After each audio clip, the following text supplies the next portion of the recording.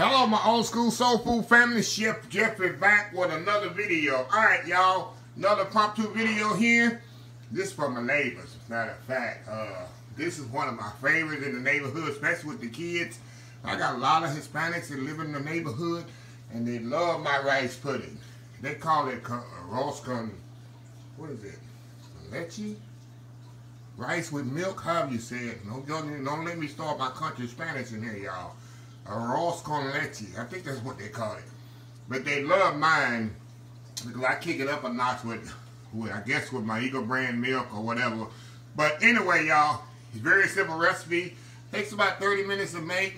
And if you like it hot, 30 minutes. If you like it cold, take a little longer. I like mine ice cold. Or at least room temperature. I don't like eating it hot. I really don't. Never have. Even when my mom used to make it. And my mom used to tell you a story about this, and I'm going to get started here. Uh, you know, my mom, every Sunday, we used to have rice for breakfast with sugar and butter on it. A lot of people don't know about eating rice with sugar and butter on it. But in the country, that's how I grew up. I ain't know nothing about eating rice with just gravy, nothing like that, till later on in my mid-teens adult life that I learned you could eat rice with gravy on it. That wasn't even unheard of in my house growing up in in uh, southeast Texas.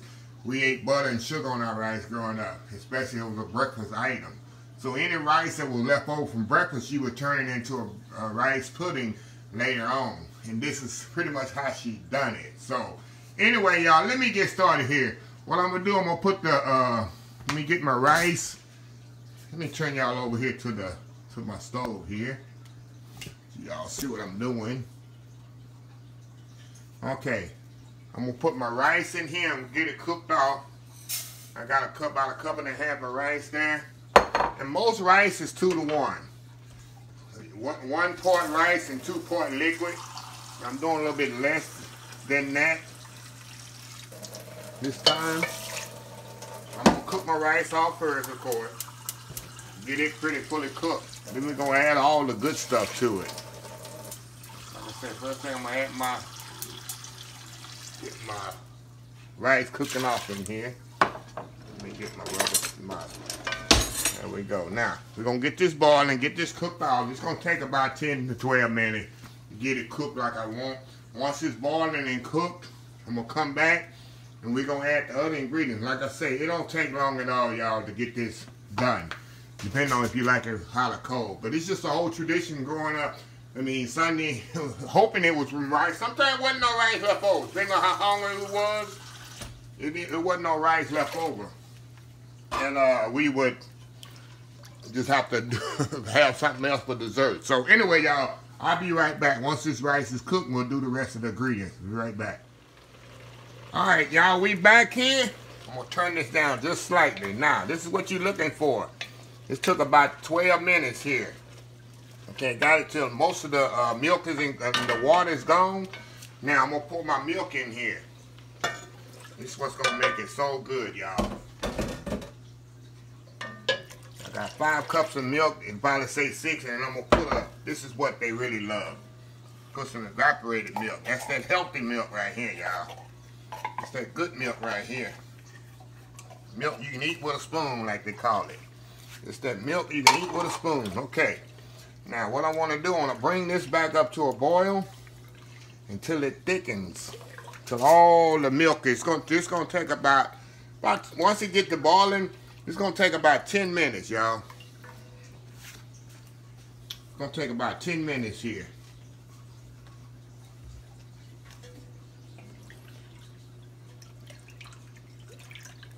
So we're gonna let this, we're gonna step off here. I'm gonna put a lid on it, kind of speed up the process a little. Lid like that. I'm gonna let this come to a boil. And once it thickens, we're gonna come back here we're going to add our sugar to this. Let it boil about 10 minutes, 5 minutes. Then we're going to add our vanilla. And then we're going to temper it, add our eggs, and let it really get thickened. This stuff is so, so good, y'all. I'm telling you. So anyway, we'll be right back. Alright, y'all. We are back here. Okay. And the milk, is this is, see how this thickens slightly? As that milk is kind of absorbed into that rice. See that? Now, it's going to take another like I said, the first time I cooked it with the water, let me go back because I'm maybe I'm moving too fast here. the first part, put the rice and the water together, cook it 12 minutes. You can cook it up to 15. You really want the water to pretty much evaporate. Depending on what kind of rice you're using. Now I use a long grain rice. This here I'm using Uncle Ben long grain. That's what I use for my rice pudding because it holds up better than any kind of other rice. See how it hold, holding up? See? It's been cooking a long time. It's been cooking about 30 minutes. See how it's held up? It's not stuck together. That's why I use Uncle Ben long grain. It's very important to me the type of rice. Every rice is not the same. It doesn't cook the same. Some get so mushy and gooey. Some of it stick together. When I my rice pudding, I don't want that to happen. I want it to be like this. So I cook the the water in the rice initially for 12 to 15 minutes until it get pretty much all the water evaporated. Then I add the milk to this. And then I'm gonna cook it, cook it another 20 minutes. And this is what you got. So slightly the milk is gone, but not completely. This is kind of the uh, texture you want. Now, I'm to add all my sugar in here. Let my neighbors call me here. I'm to let that phone ring. I guess my neighbors know I'm making rice pudding, y'all. They calling me already. Okay. Now we're gonna cook this here with the sugar in it for about, I'm gonna let this cook about six minutes, y'all. Let this cook six minutes here. And then it's gonna slightly thicken too. Then we come back, we're gonna see my eggs right here. I'm gonna whip them up and I'm gonna temper this. Meaning I'm gonna put some of this hot liquid into this and uh, temper this. Get these eggs the same temperature as this and then I'm gonna add them in there. And then I'm gonna add my nutmeg and my vanilla. I always remember, I always add the vanilla right at the end to get the, the complete um, strength of your vanilla. If you add the vanilla right in the middle of the cooking process, all the flavor cooks out. So that's another hint. I always add the vanilla, if possible, when you're cooking something like this, right at the end, so you get the whole strong effect of the vanilla. So we'll be right back, y'all. Okay, y'all, we back again. And this is what we is right now. You can see, look how creamy this rice is pudding is. already, look how creamy it is. We haven't got to a complete thickening stage that I wanted. Now, we're going to add the eggs to this. Like I said, all I'm going to do, I'm going to mix this up here. And she whip them up first. And we do not pour, you do not want to just pour these eggs into here. And now you're going to have scrambled eggs and just ruin your rice pudding. So what you want to do stir this up. You want to add a little hot to the eggs here. And then you're going to mix it up here. Just a second here. You're going to just mix the, the hot into the cold eggs. Then we're going to pour this in here like this. That's going to make it even more. Get all that out of there, y'all. There we go. There we go, y'all. Look at that. Turn that up in there. You get it all mixed together.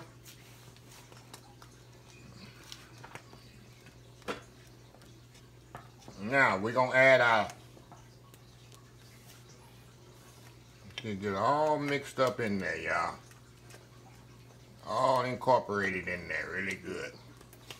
Now we're gonna add our vanilla to this. Look at that.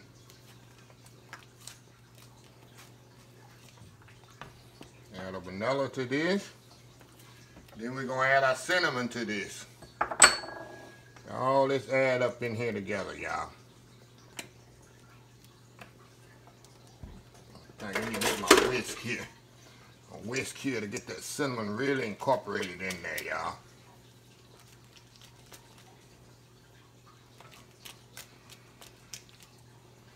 There we go.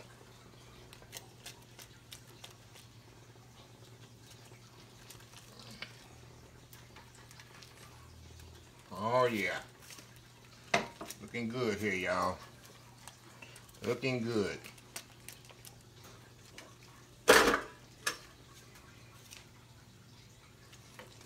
Mixed all up in there really good.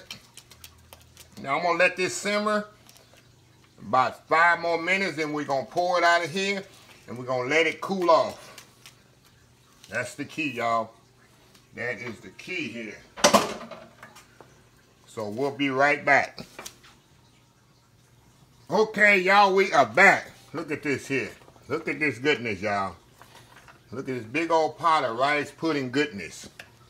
Now, this is ready. I'm going to turn it off. Now, you can eat it like this if you want to. But like I say, y'all, I like mine cool. So what I'm going to do, I'm going to turn y'all over this way. And I got my casserole dish here. And I'm like to pour mine in my little casserole dish here. Get my tiles here. Just like this.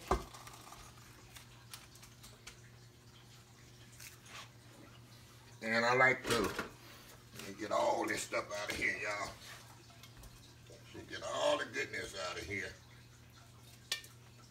Uh, get everything out of here. Okay. Let this sit right here, y'all, and get cool.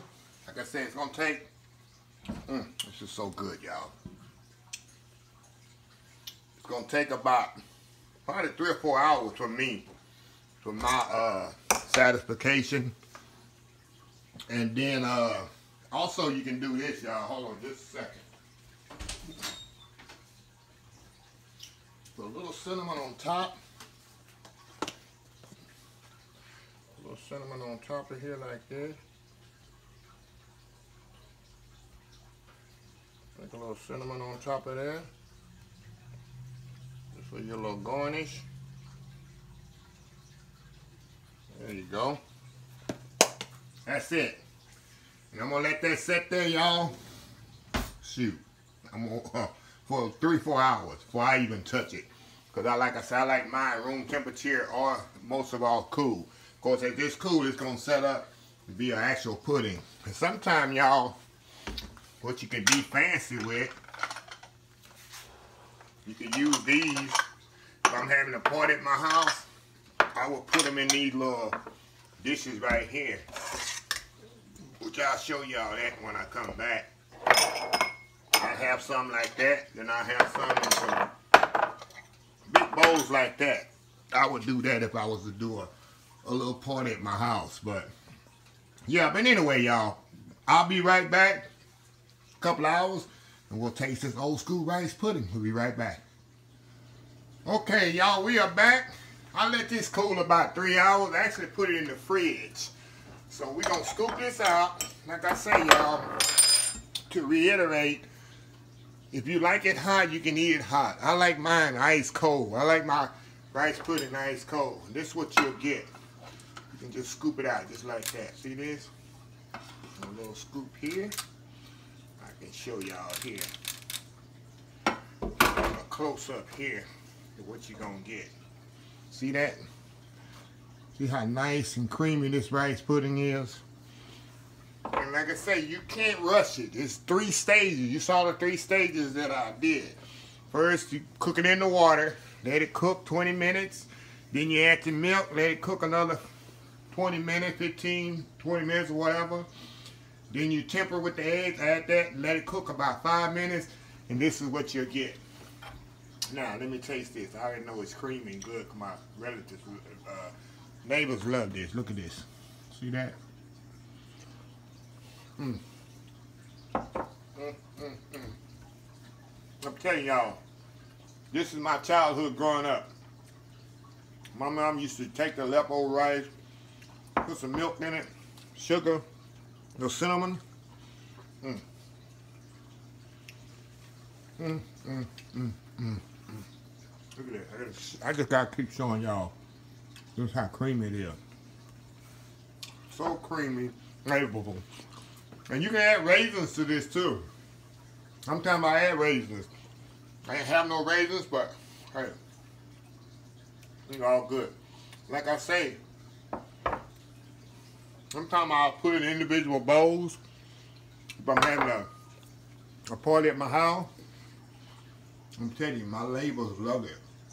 Especially my Hispanic neighbors. They love it. And they be say that a lot of them say they grew up on what do they call it? Uh, Arroz con leche. I think that's how you say it. They say they never made it. They never tasted nothing like this. I say this is the way I grew up eating it. You a bit more of this. Yeah, do it. So anyway, y'all, another little spontaneous video I wanted to show y'all. So anyway, if you like this video, please share, please comment, please subscribe. Please follow my other social media accounts, Facebook, YouTube, Instagram, Twitter, Twitch TV, Pinterest, and oldschoolsoulfood.com. Remember the hashtag 2022, helping others with a purpose. Until next time, have a blessed old school soul food day, and I will see y'all in the next video. Love y'all. Bye.